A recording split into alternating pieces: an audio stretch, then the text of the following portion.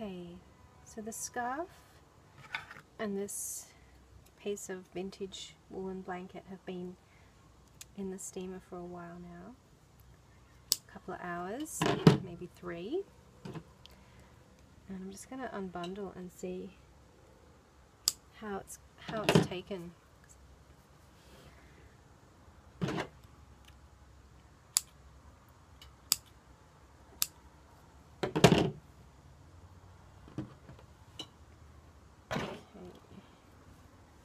Unwrap this one first.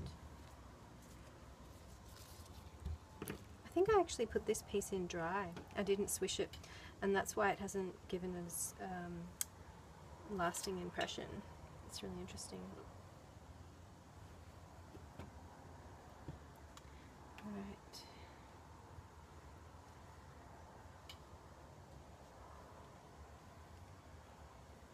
There is a subtle imprint on this scarf, which is really quite pretty and delicate.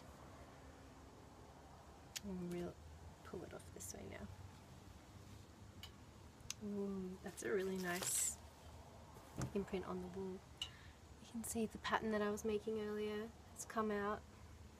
It looks really cool.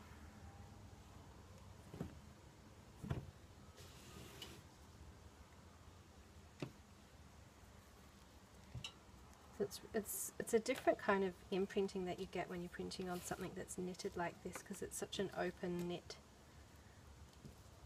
So you sort of more or less get the impression. You get just the impression of the, the print.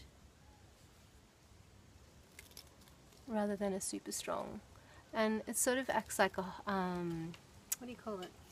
Like a hologram in a way when you look at the density of the fiber um, from different angles you get different depth because of the texture which is also really nice yeah, so we'll dry that one out and see how it looks.